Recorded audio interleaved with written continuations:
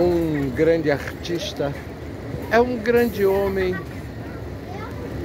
em uma grande criança.